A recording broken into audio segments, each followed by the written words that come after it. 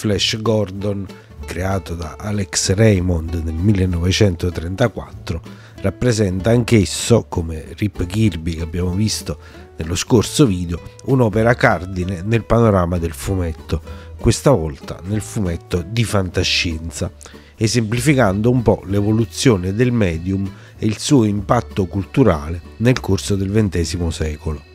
La storia editoriale di Flash Gordon riflette le dinamiche del mercato dei fumetti, le innovazioni artistiche e le trasformazioni del gusto del pubblico, delineando un percorso che va dalla sua concezione durante la Grande Depressione fino alla sua persistente rilevanza nel panorama culturale contemporaneo. Alla sua nascita, Flash Gordon era inteso come la risposta della King Features Syndicate alla popolarità crescente di un altro fumetto di fantascienza dell'epoca, cioè Buck Rogers. Alex Raymond dotato di un talento grafico eccezionale e di una fervida immaginazione, fu incaricato di sviluppare una serie che potesse competere con quella già affermata. Ma ciò che Alex creò superò di gran lunga le aspettative, elevando il genere della fantascienza a nuovi livelli sia estetici che narrativi. Flash Gordon debuttò quindi il 7 gennaio del 1934 guadagnandosi immediatamente l'attenzione e l'ammirazione del pubblico, grazie alla ricchezza e alla vividezza dei suoi disegni, alla profondità dei suoi personaggi e alla complessità delle sue trame.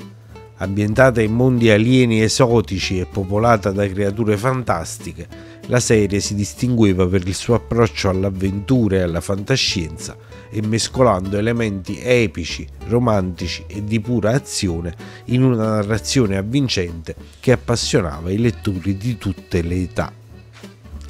La trama di Flash Gordon narra le avventure dell'omonimo eroe che, insieme alla sua compagna Dale Arden e al geniale scienziato Hans Zarkov, viaggia verso il pianeta Mongo per sventare i piani di conquista del malvagio imperatore Ming.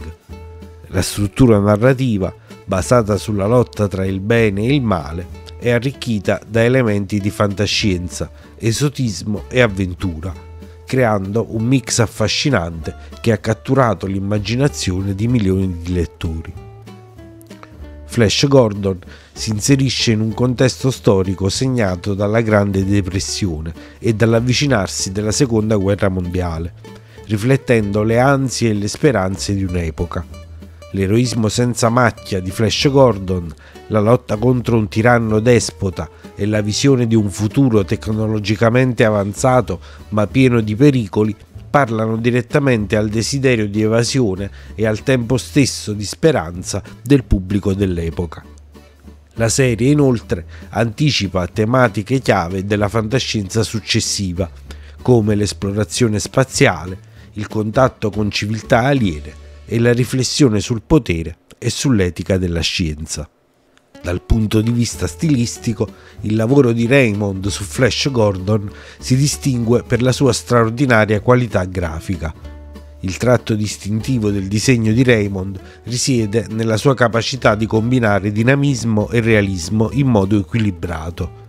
Le scene d'azione sono rappresentate con una vivacità e un senso del movimento che trasmettono l'urgenza e l'emozione dei momenti chiave della storia. Allo stesso tempo, Raymond non trascura la precisione anatomica dei personaggi e la coerenza degli ambienti, conferendo alla narrazione una credibilità visiva che immerge il lettore nell'universo di queste storie. Un altro aspetto fondamentale del disegno di Raymond è il suo uso innovativo della luce e dell'ombra. Attraverso queste tecniche di chiaroscuro egli è in grado di enfatizzare la tensione drammatica delle scene, di delineare i contorni dei personaggi in modo che risaltino sulla pagina e di creare profondità e volume. L'influenza di Raymond sul disegno nel fumetto può essere vista nella sua capacità di sintetizzare e superare le influenze artistiche del suo tempo, attingendo sia alla tradizione illustrativa dell'epoca sia alle avanguardie artistiche. Raymond ha sviluppato uno stile personale che si pone al crocevia tra l'arte popolare e quella colta La sua opera mostra che i fumetti possono essere non solo un veicolo di intrattenimento di massa, ma anche una forma d'arte capace di esplorare e sperimentare con la rappresentazione visiva. Dal punto di vista editoriale, Flash Gordon rappresenta un'innovazione significativa non solo per il suo contenuto, ma anche per il suo formato. La decisione di pubblicare la serie come una striscia domenicale a colori permise a Raymond di esplorare e sfruttare al massimo le potenzialità del colore, arricchendo ulteriormente il dinamismo e l'attrattiva visiva delle sue pagine. Questo formato, insieme alla qualità del disegno e alla narrazione, contribuì a consolidare la serie come un punto di riferimento del suo genere influenzando non solo altri fumetti, ma anche la cinematografia e la cultura popolare in generale.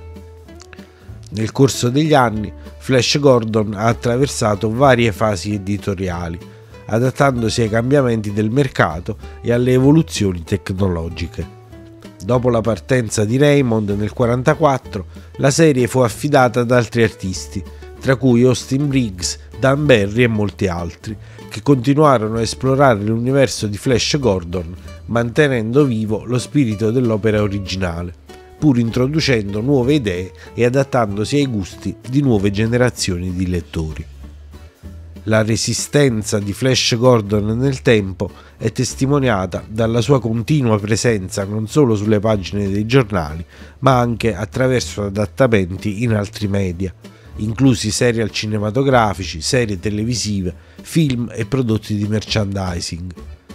Questa capacità di trascendere il proprio formato originale e di rimanere culturalmente rilevante dimostra l'importanza di Flash Gordon non solo come opera di intrattenimento, ma anche come fenomeno culturale che ha contribuito a plasmare l'immaginario collettivo riguardo al futuro, all'esplorazione spaziale e all'avventura.